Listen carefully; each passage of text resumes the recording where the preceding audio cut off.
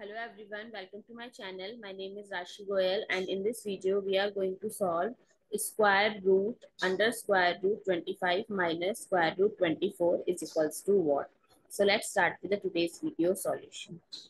So square root under square root 25 we can write it as 5 times 5 minus 24 we can write this as 2 times 2 times 2 times 3. So square root we can write this as 5 minus and here 2 root 6.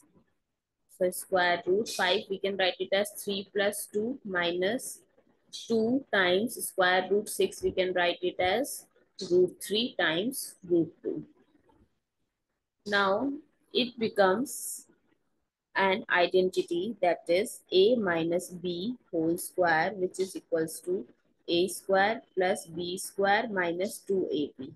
So 3, we can write this as root 3 square.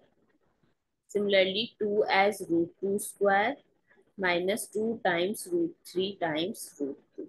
So if we compare this with a formula, so it becomes a formula of root 3 minus root 2 whole square. So square root root 3 minus root 2 whole square. So with the help of this square, this square root eliminates. So the answer of this is root 3 minus root 2. I hope it's clear and you find it useful. So please give us a thumbs up and do subscribe to my channel. Stay tuned.